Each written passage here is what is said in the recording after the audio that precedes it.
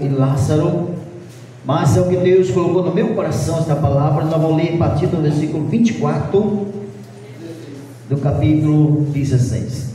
Glória a Deus. Amanhã vai estar aqui nosso irmão Benedito, lá da sede de Campo Grande, juntamente, amém? Quem achou a palavra de Deus, diga amém. Lucas 16, versículo 24 diz assim: A palavra de Deus para nós, o nosso coração. E clamando disse: Abraão, meu pai, tem misericórdia de mim. Manda Lázaro que molhe na água a ponta do seu dedo e me refresca a língua, porque estou atormentado nesta chama. Disse, porém, Abraão, filho, lembra-te que recebeste Deus bem em tua vida, Lázaro somente males, e agora este é consolado e tu atormentado. Além disto está posto um grande abismo entre nós e vós. De sorte o que quiseste passar daqui para vós não poderiam, nem tampouco de lá passar para cá. E disse ele: Rogo depois, ó Pai, que mande a casa de meu pai, pois tem cinco irmãos, para que dê testemunho, a fim de que não venha também para este lugar de tormento.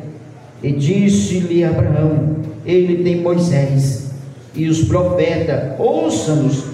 Disse ele: Não, Abraão, meu pai, mas se algum dos mortos for de com ele, arrepender-se-iam.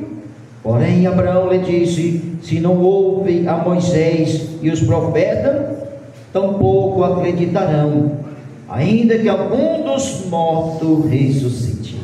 Amém? Pode sentar toda a igreja. Quem puder bater palma com glória, com aleluia.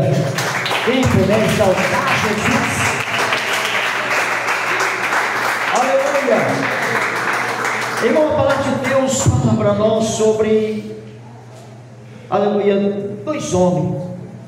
Homem a qual ele viveu uma vida regalada, abriu dá o nome dele, um homem rico, e traz também, aleluia, um nome, homem mendigo, que não tinha nem aonde, uma casa para pousar, mas a Bíblia traz o nome dele, Lázaro. E a Bíblia diz, aleluia, que esse homem rico, ele teve uma vida, aleluia, sobre essa terra, uma vida regalada. Que, que é? Ele tinha tudo, comprava tudo, aonde ele quisesse ele ia, o que ele queria comprar, comprava, tinha bem, aleluia, de muitos, para muitos anos, a tua vida toda, mas aleluia, Deus sempre quer que nós olhamos para o céu, para a vida eterna. No momento que nós conhecemos a Deus, conhecemos a Jesus, conhecemos o Espírito Santo, que nós passamos a conhecer a verdade, que Jesus ensinou nós o caminho do céu, e ensinou nós também que existe o inferno. Deus ao homem uma decisão escolher aonde ele quer passar a eternidade. Este homem rico era conhecedor da palavra. Ele conhecia a lei. Porque ele chamou pai Abraão. Ele não ia chamar pai Abraão se não conhecia quem era Abraão. Então era um homem conhecedor da verdade, mas não vivia na verdade, não praticava a verdade. Aleluia. Mas ele só cuidava de si, da tua vida, pensava em si mesmo, era egoísta, Irmão, uma pessoa que nunca ajudou ninguém na vida, nunca estendeu a mão para ninguém, mas Deus, como que dá uma oportunidade, antes de nós partir, Deus prova nosso amor, a nossa fé, a nossa perseverança, porque Deus, Ele quer mostrar o segredo do nosso coração. Glória a Deus. Quem é nós na verdade? Por falar é fácil que nós tenhamos amor. Falar que nós amamos é fácil. Mas Deus ele quer revelar o desejo, quem é nós na verdade. E Deus quis revelar o desejo do coração daquele homem, revelar ele, colocando Lázaro, o mendigo, diante da tua casa, na tua porta. Quando, aleluia, Lázaro, a Bíblia não relata quantos dias, ou se ficou meses, o mendigo da casa daquele homem rico, a Bíblia diz que o homem não deu nada para ele não deu água, não deu comida, não deixou empregado nenhum estender a mão para ajudar. É um homem a qual o desejo do coração era só para si.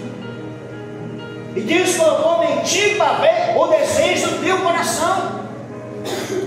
E Deus outra vez prova nós dessa forma, para ver o desejo do nosso coração.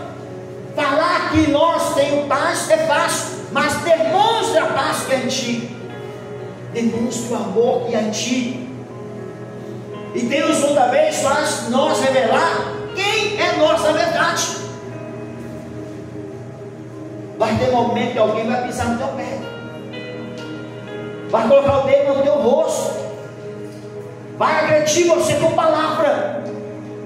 Para ver quem é você na verdade. Se você é bravo, se é valente ainda, quer sair no tapa da pessoa, ou se realmente nós fomos libertados, transformados pelo poder do sangue de Jesus. Ou se nós vamos calar, repreender espírito, orar, entregar para Deus, ou se nós vamos sair braçado no braço da pessoa, porque diz nós, no mundo eu não aceitava e agora também não aceito, nem na minha casa ninguém bate. E Deus coloca a nossa prova mas nós saber quem é a nossa verdade. Aleluia. Deus quis saber quem era o rico na verdade. Provou a ele o último momento final da tua vida nessa terra, para ver se ele ia estender a mão pelo menos uma vez na tua vida, diante do mendigo faminto, cheio de chaga, um homem que precisava de cuidar do médico, precisava de um lugar para dormir, precisava de umas vestes limpas, tomar um banho, e foi colocado justamente no homem que tinha condição para tudo isso. Mas o homem não fez nada por ele. Não fez nada. Irmão, ninguém vai levar dinheiro para o céu. Ninguém vai levar casa bonita para o céu. Ninguém vai levar teu trabalho para o céu. Ninguém vai levar carro. Nem a nossa roupa, Deus não quer. Deus não quer nada dessa terra. Pode ser sapato de 10 mil reais, Deus não quer sapato. Pode ser roupa de 20 mil, Deus não quer. Porque irmão, Ele já preparou tudo para nós: as nossas vestes, a nossa casa, a nossa mansão, está tudo no céu.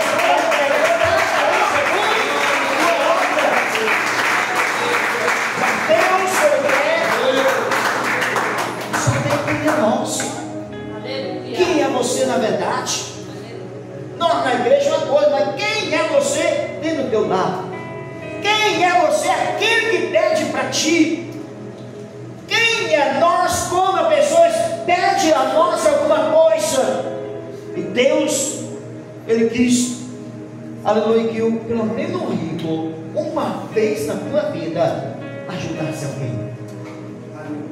E colocou na porta dele um homem ferido, machucado, para ver se pelo menos ele chamar um empregado, vai lá, aquele homem está falido, vê se ele quer entrar, vai lá, dá um banho nele, troca a roupa dele, vai lá, pega o azeite, passa na ferida dele, coloca ele na mesa, prepara a comida para ele, mas o homem não fez nada disso, porque ele só pensava em si mesmo, só em si. E Deus olhando viu que não ia ter reação nenhuma, não tinha nada. Deus levou Lázaro. E a Bíblia diz: quando Deus chamou Lázaro, mandou o anjo vir buscar ele.